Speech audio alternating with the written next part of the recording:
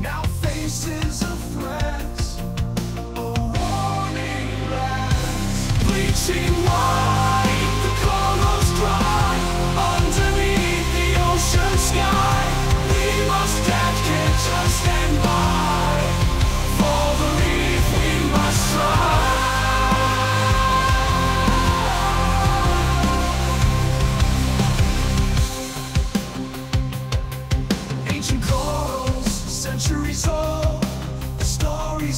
Sea untold.